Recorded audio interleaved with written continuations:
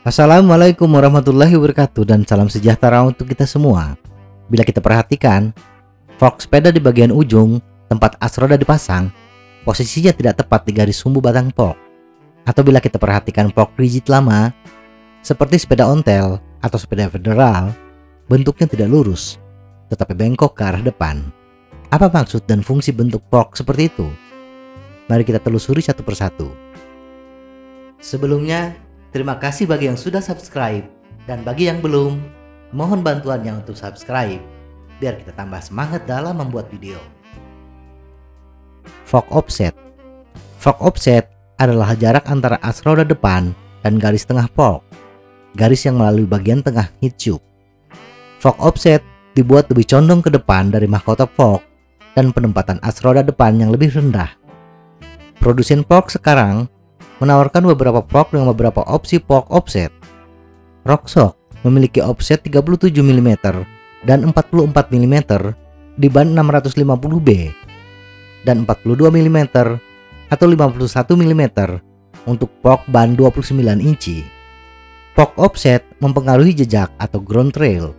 Offset yang lebih panjang menghasilkan jejak yang lebih sedikit, yang membuat kemudi lebih ringan namun lebih kaku.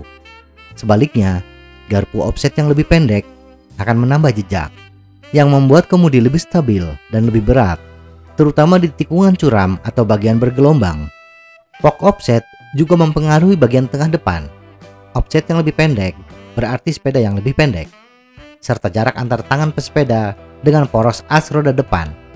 Karena alasan ini, menaikkan fork offset terasa seperti memendekkan stem, karena posisi roda depan berada lebih jauh dari tangan.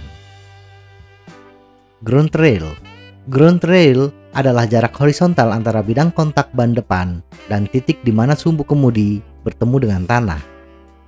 Jejak tanah memberikan indikasi seberapa stabil kemudi sepeda nantinya. Secara teknis, ini kurang akurat dibandingkan jejak mekanis atau mechanical trail. Tetapi lebih mudah untuk divisualisasikan dan ini adalah pengukuran yang biasanya terdapat dalam data geometri sepeda, tertulis sebagai trail. Panjang ground trail dipengaruhi oleh tiga faktor, ukuran roda, sudut heat tube, dan fork offset. Semakin tegak kemiringan heat tube, semakin pendek offset atau semakin besar ukuran roda, semakin besar pula jejak atau trail.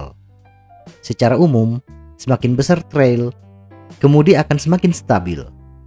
Ini karena ada gaya pemulihan saat kemudi diputar dari arah lurus ke depan yang berfungsi untuk memusatkan kembali kemudi ke garis depan. Gaya ini terkait dengan ground trail. Mechanical trail Mechanical trail adalah jarak antara bidang kontak ban depan dan sumbu kemudi bila diukur pada sudut 90 derajat dari sumbu kemudi. Juga dikenal sebagai jejak nyata. Jejak mekanis terkait erat dengan jejak tanah, di mana peningkatan salah satunya akan meningkatkan jejak lainnya. Jejak mekanis seperti tautan yang terhubung ke roda kastor. Anda dapat menganggapnya sebagai tuas virtual yang menghubungkan bidang kontak ke sumbu kemudi. Semakin panjang tuas ini, semakin kecil pengaruh sudut kemudi saat roda terbelokkan dari garis arah gerak oleh jarak lateral tertentu. Misalnya ban terbelokkan ketika melindas batu. Atau jika unit kemudi terbelokkan dari jalur dengan sudut tertentu, akan ada torsi pemulihan yang lebih kuat yang bekerja untuk meluruskannya kembali.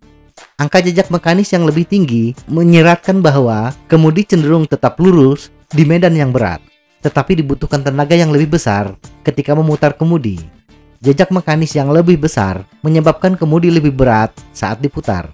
Jadi, dengan kata lain, jejak mekanis yang lebih panjang berarti kemudi yang lebih stabil, tetapi lebih berat.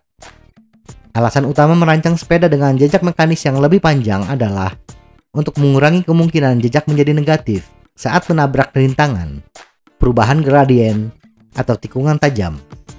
Jejak negatif menyebabkan efek kastor ke belakang, membuat kemudi tidak stabil dan sulit ditangani. Jejak mekanis juga merupakan salah satu prasyarat yang sering dikutip agar sepeda cukup stabil ketika bersepeda dengan melepaskan tangan.